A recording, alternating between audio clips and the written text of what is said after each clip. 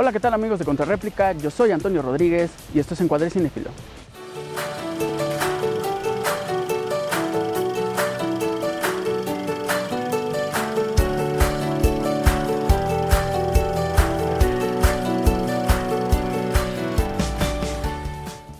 Uno de los estrenos más interesantes que tenemos para esta semana en carteleras es El Ángel del director Luis Ortega, que retrata la historia de Carlos Robredo Puch, Carlitos como le gustaba ser llamado, este joven que en los años 70 en Argentina eh, fue puesto a la orden de la policía toda vez que se le comprobaron 11 asesinatos a sangre fría, algunos robos a casa habitación, para ser exactos 17, y algunos devaneos en el homosexualismo. En ese tiempo en Argentina estaba muy muy penada esta cuestión.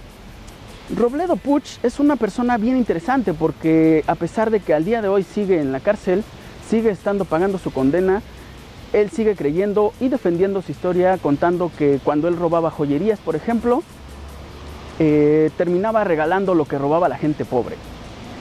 El ángel retrata la historia un tanto ficcionada de este, de este personaje. Esto es una decisión de Luis Ortega, no quiere meterse tanto en la historia de él, eh, hace un pseudoanálisis de su personalidad y también es debido a que Robledo Puch en la realidad no cuenta mucho de su historia, no nos da motivos de por qué hizo lo que hizo, ya que siendo honestos no tenía muchísima necesidad de robo.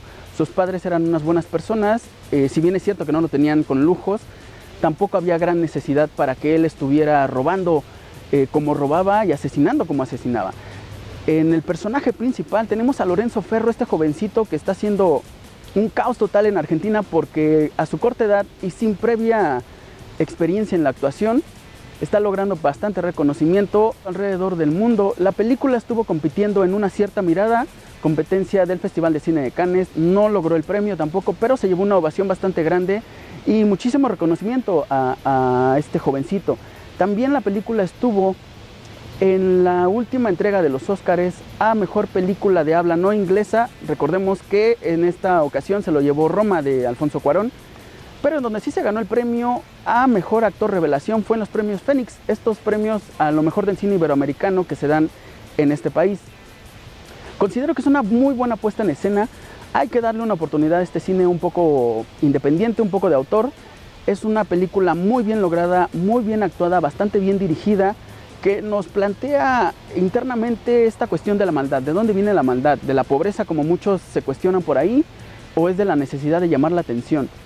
Estos son los cuestionamientos que deja Luis Ortega en su último cortometraje. Ya tiene bastante experiencia al dirigir y la verdad es que hace un muy buen papel. Esto es todo por esta semana amigos, les recuerdo que mi crítica escrita también la pueden encontrar en el portal de Contrarréplica. Esta semana vamos a hablar también de Beautiful Boy, Siempre serás mi hijo, película con Steve Carell y Timothy Chalamet, película que retrata la caída de un joven prometedor al mundo de las drogas. Hasta luego.